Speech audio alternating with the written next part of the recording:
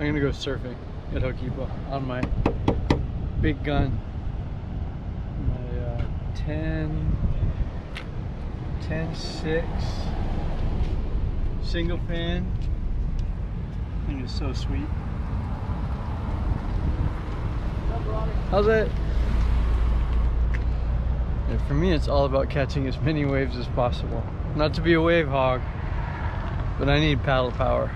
So I'm always on a big board these days, but it's fun.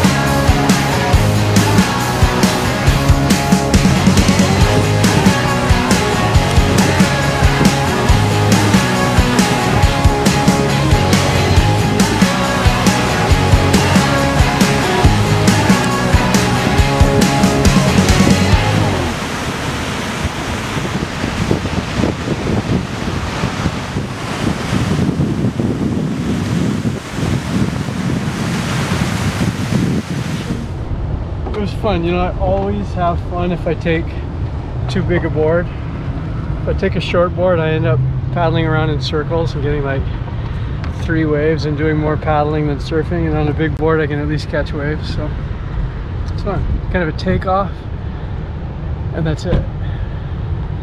But it's still fun. It's a little bit wonky, kind of on shore, but super fun. It's always good to just get wet.